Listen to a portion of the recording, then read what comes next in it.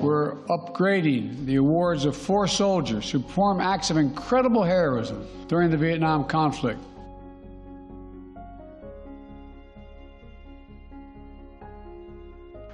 The middle class built American unions, built the middle class.